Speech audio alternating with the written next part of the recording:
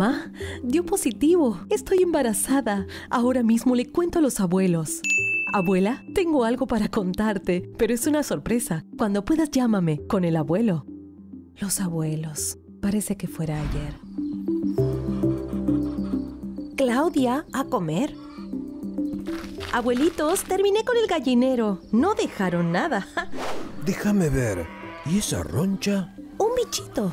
Me picó. No te rasques. Puede ser uno de esos insectos que transmite la enfermedad de Chagas. Claudia, esta carta es para tus padres. Tienen que llevarte al médico. No lo olvides. Es muy importante.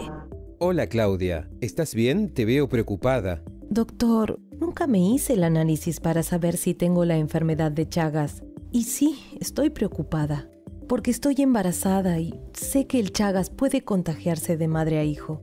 No te preocupes, Claudia, debemos confirmar si estás infectada. De ser así, cuando nazca tu niño, hay que estudiarlo para establecer un diagnóstico. Si es positivo, podremos tratarlo para que cure.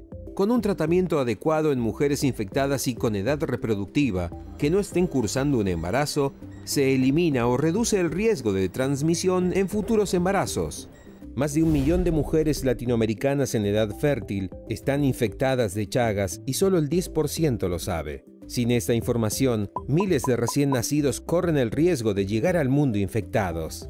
Toda mujer en edad reproductiva con antecedentes de riesgo, como contacto con vectores, transfusiones recibidas antes de los años 90, madre o abuela procedentes de áreas endémicas, debe hacerse un examen serológico de Chagas, aun si no está embarazada. En caso de positividad, debe tratarse para eliminar las posibilidades de transmitir la afección en futuros embarazos. Toda mujer embarazada con antecedentes de riesgo también debe incluir entre sus controles de embarazo un examen de Chagas. Si resulta seropositiva, se debe estudiar de forma completa a su recién nacido en el momento de parto y posteriormente, para tratar a todo niño que resulte infectado por Trypanosoma cruzi. Sin embargo, nunca se debe administrar un tratamiento de enfermedad de Chagas a una mujer gestante.